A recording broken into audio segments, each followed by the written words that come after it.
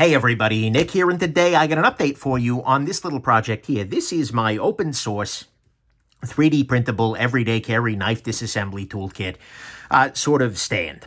Uh, for those of you who are unfamiliar with the project idea, my original goal was just to make something that everybody could use. Anybody with a 3D printer or with access to the internet to you know contact somebody else with a 3D printer to make it for them could put all of their various tools into um, and keep things organized as they are going about their days uh, doing you know knife disassemblies or any other kind of disassembly, right?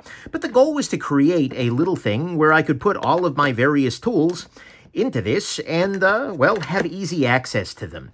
Uh, and included a bunch of the kind of things that one would use on a normal basis, right? Things like, for instance, well, tweezers, things like the uh, fabric patches that I use on a regular basis to, uh, you know, clean things up. Watch spring bar tools. Of course, my uh, my screwdrivers live in here. My uh, little glue stick this guy in the back here, some coins. But anyways, this was an easy way for me to access the tools. And this works great. Um, in fact, this is a very, very nice little product sort of thing. I, I am completely biased there, but it's free and you can make one yourself. So guess what? No conflict of interest. Uh, well, I guess maybe I want you to download it. So then, con anyways, do I have to hold this thing? I, I'm the manufacturer. I don't freaking know. Anyways, so I made this guy. But the thing is, there were some things that were driving me a little bit crazy as I used it more.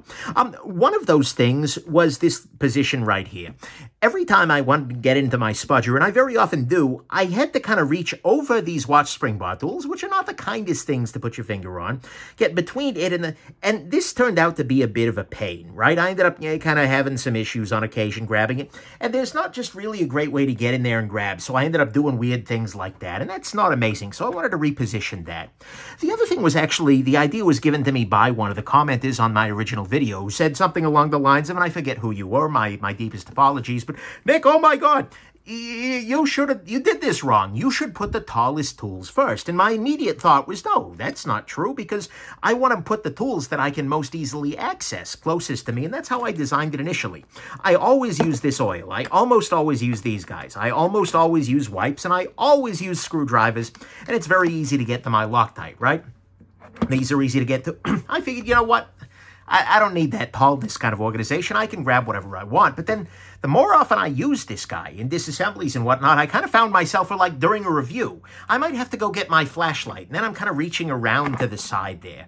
Or I might be, you know, going for, uh, for instance, this little guy. Uh, and there's kind of some awkward motions with it. And given that a lot of these things are a little bit on the sharper side, I decided, you know what, let me give that a shot. And so I created version 2.0 of this. And the version 2.0 of this particular product here uh, just moves this little slot here and then reorders everything such that the tallest things are in the back. Not a whole lot changes on this side. So I have another version of this exact size here that is available for you on the on the GitHub page. I'll link it down below. Um, and so if you'd like to print a new version of it or, uh, you know, print the, the, the, one for the first time, uh, that's a really great opportunity. And again, it is completely free and I'm including the source file um, done in OpenSCAD, which are uh, OpenSCAD, I don't know which.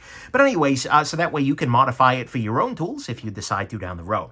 The other major comment, though, and the other thing that kind of kept bothering me about this design is this had almost everything I needed, right? This was great because I could just grab this, bring it down to the kitchen table, for instance, and do some maintenance on something that wasn't getting filmed, right? That was very, very nice, but I was missing two important elements of it.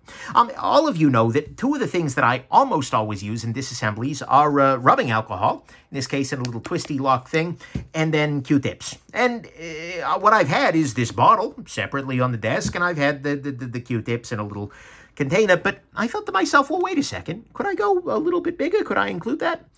And so I did. And I've created version 2.0, the large size of this.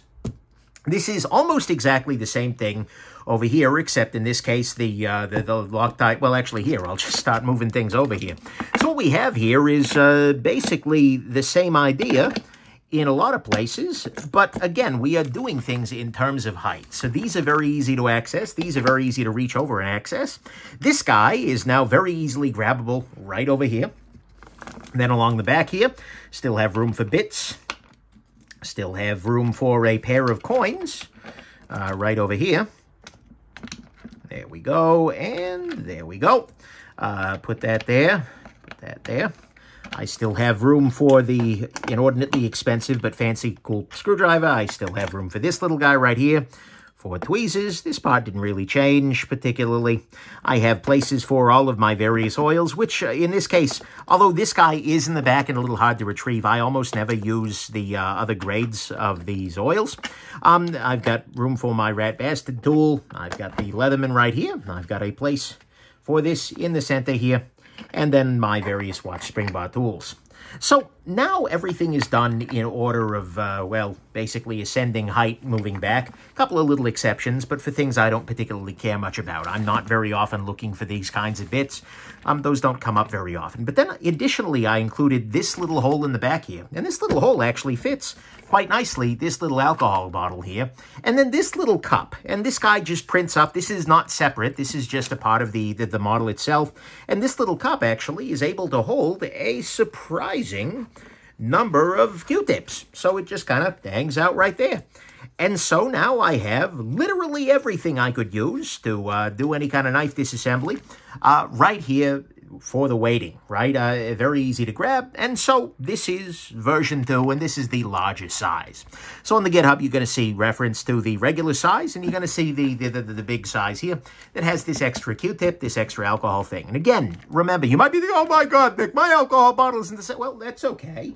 Just go in there, grab your freaking calipers. Where are my freaking calipers? They were around here someplace. Oh, I was using them downstairs, damn it. But anyways, grab your freaking ruler. Where's my ruler? I am just, I'm killing it today, that's for sure. And go on ahead and measure whatever the size bottle you're in, and then plug it into the CAD, right? And then, if you got a 3D printer, you can uh, print it out, or you can send it along to a third-party service that will go ahead and print things. But anyways, you can get that done there. The color here is different. That's just because I ran out of the black filament, so I moved over to this gray.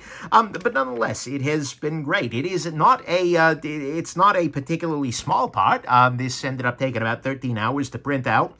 But that's also because I did it on slow settings, and, well, I went to bed, and when I got up, I had a new print, so that was cool.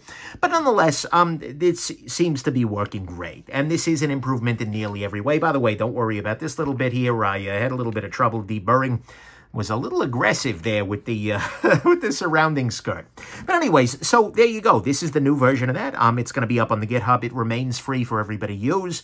Um, feel free to take it. Feel free to use it, to remix it, do whatever the heck you want with it. Um, it is yours for the taking. But it is a very, very useful tool, and it now has everything I need right there waiting for me and will be a constant companion on my desk from here on out. So if you want the smaller size or you don't need the alcohol and Q-tips, go ahead and get the new version of this. I didn't print the new one out because, dude, I got that one. Um, uh, but this will also be available for smaller printers, but the full size is available and in a lot of ways, at least for my life, is a little bit of an improvement. So I figured I'd share it with you all. Hope this has been interesting to you and have yourselves an absolutely wonderful rest of your day. And uh, don't worry, someday your prints will come. Uh 3D prints? No? Okay. Uh, sorry, I'm kind of a tool. Bye now.